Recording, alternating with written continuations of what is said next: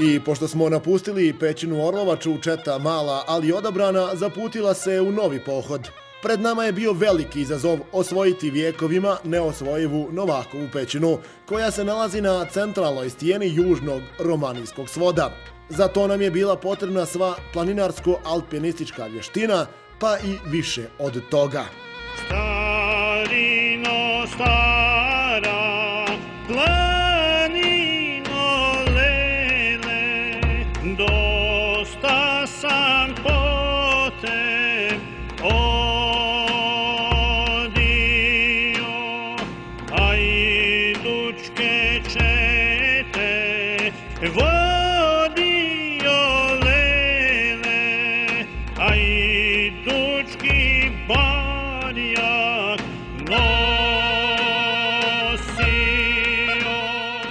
a do Novakove pećine čekao nas je konstantan uspon koji bi po riječima našeg vodiča, iskusnog alpiniste i ljubitelja ove planinske ljepotice, Ljuba Jovanovića, bilo potrebno negdje oko 3 sata hoda. Međutim, bilo je i nekih nepredviđenih situacija poput ove. Evo ljudi, upravo smo se izgubili. Pokušavam da dobijem našeg vodiča u sred Bukove šume, skoro pa na vrh Romanije ne znamo na koju stranu treba. Evo vodiče, Ljubo, mi smo ostali dole neđe, ne, ne, ne znam, ne znam gdje se. Nakon putu, Ljubo, idem li brdu, idem li lijevo, idem li desno? Ljubo! Dosta sam majke, cveli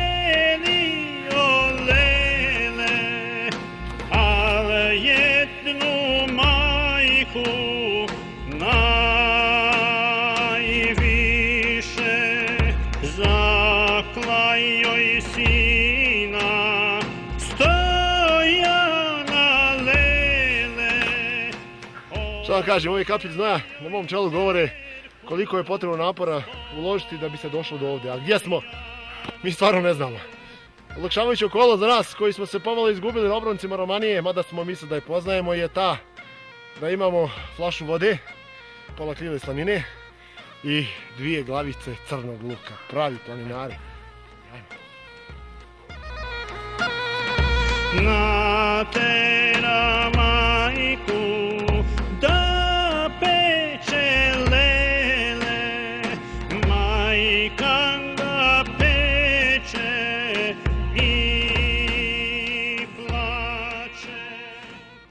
I nakon popriličnog napora i lutanja gorom Romanijom, upravo kada smo pomislili da se naša ekspedicija ovdje i završava, kao naručen iz obližnjeg šumarka, u svoj svojoj veličini ukazao se i naš vodič. Ohrabreni novonastalom situacijom, naše putovanje po romanijskim proplancima nastavljamo dalje ka konačnom cilju, centralnoj stijeni i Novakovoj pećini.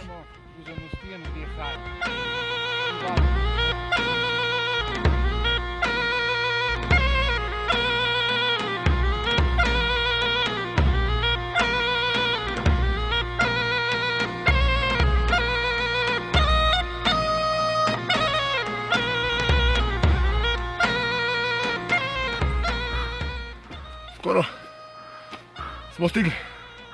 Ovaj put idemo opasnijom stranom. Ima tu neka isajla, ne znam šta nas očekuje. Nije baš svejedno, ali izdržat ćemo.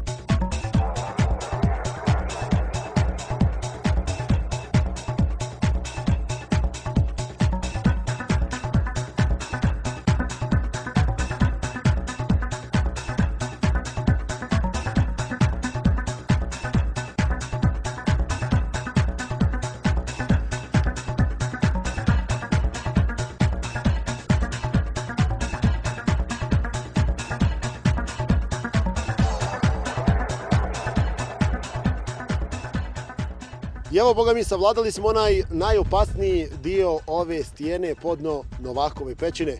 Pred nama je nekih 70-80 metara do duše uspona, ali ne tako opasnog kao što je iza nas. U svakom slučaju idemo gore da vidimo šta nas to u pećini očekuje, pa možda i sam Starina Novak nam posluži neku klopu jer smo strahovito gladnili. Posjećam da smo jutro skrenuli u 9 sati sa stajne iz planinarskog doma i da ništa nismo doručkovali. Jedva čekam da se popnemo gore, da vidimo šta nas očekuje u pećini i da malo zamezimo što bi rekli da fruštukujemo. Idemo.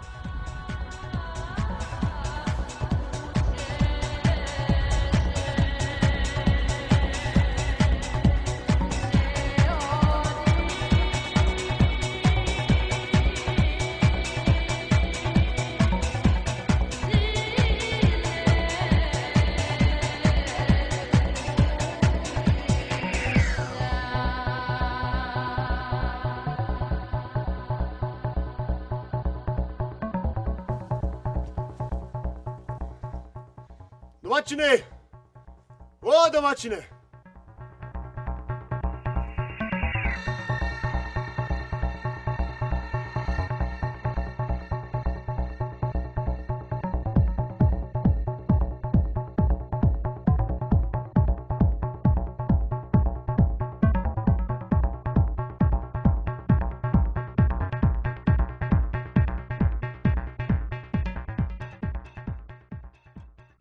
evo, boga mi, trebalo je skoro pa četiri sata da dođemo ovde e, gdje smo, a to je Novakova pećina. Jedna od najpoznatijih e, romanijskih pećina.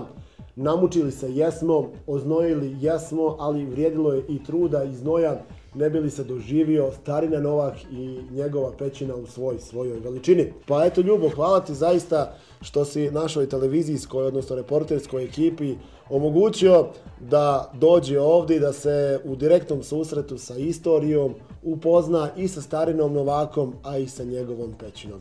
A šta kaže legenda, da li si upućen, da li on zaista boravi u ovoj pećini?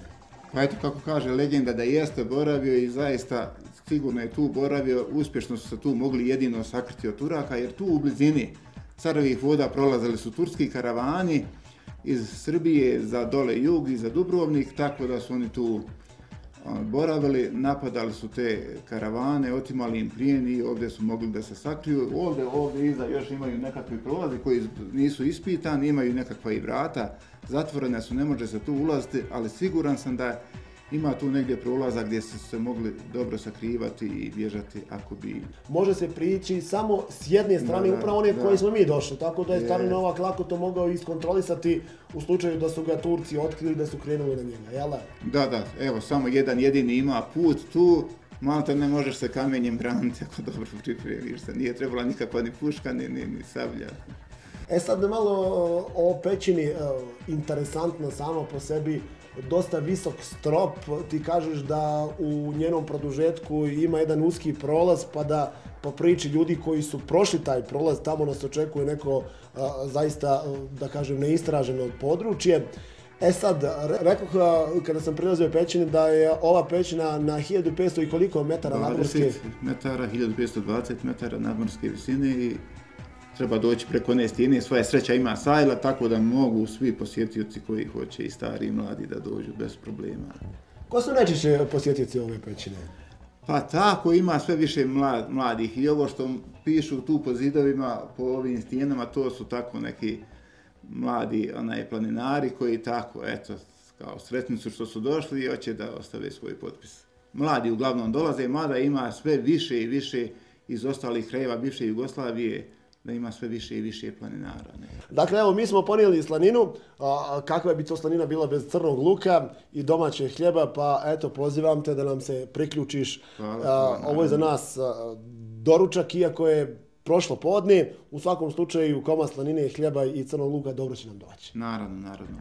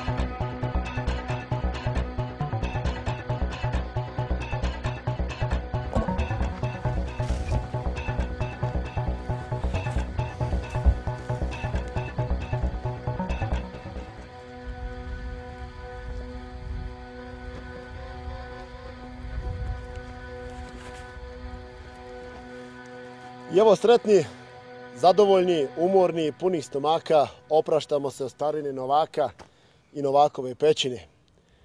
Idemo u susret nekoj novoj avanturi, odakle ćemo vam uputiti riječi dobrodošlice, znaćete ukoliko i dalje ostanete sa nama.